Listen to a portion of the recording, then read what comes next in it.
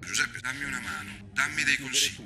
Qua i 5 Stelle perdono voti. Secondo te cosa devo fare? Scene di affollamento dei navigli. Il virologo Galli, quello che aveva duramente criticato la mancata Ora misura è anche un po' per me Lombardo, di Nembro, deprimente. precoce, Che simpaticone! Avrai successo nella vita! Stronzo, voglio parlare con te! Le immagini lungo i navigli sono vergognose. Qualcosa mi dice che non sei molto in condizioni di raccontare stupide bugie per tirare... Però ci sono i momenti in cui c'è da incazzarsi. Sei un povero idiota. E questo è uno di quei momenti.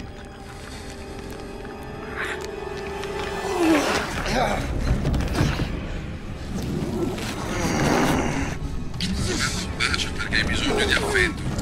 Ma che senso dai alla tua esistenza? Ma ti senti un grande uomo?